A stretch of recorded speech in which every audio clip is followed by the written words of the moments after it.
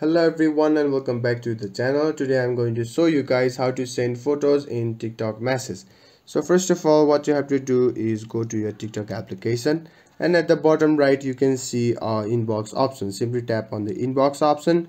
Now simply go to the username that you want to send message to. Simply go to the username and then you can see something like this. Now what you have to do is tap on the photos icon at the bottom right right beside the smiley face option and the send message option. There is a photo option right here at the bottom right. You can see simply tap on the photo and select the photos that you want then tap on send at the bottom right corner and it will be sent to the person as a message so there you have it. If you found this video helpful please give it a thumbs up. And don't forget to subscribe for more tutorials. Comment down your thoughts and until then goodbye